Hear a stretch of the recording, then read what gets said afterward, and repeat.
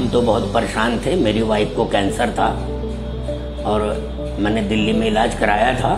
Operation भी हो गया, लेकिन तसल्ली नहीं हुई और पहले ऑपरेशन के बाद बॉडी भी बेकार हो गई और मरीज़ बहुत परेशान रहा। कैंसर फिर बढ़ने लगा। फिर हमारे दोस्त ने हमें बताया जो 18 साल से ठीक है और यहाँ पाँच छः साल से इलाज करा रहे हैं। पूरी तरह ठीक है, उन्होंने बताया हम यहाँ आए। और यहाँ आने पर हमारा अभी तीन महीने हुए इलाज करने को। लेकिन बहुत अच्छा रिस्पांस मिल रहा है। और बड़ी उम्मीद जगी है कि मेरा मरीज़ कैंसर से परेशान नहीं होगा, जितने दिन जिएगा।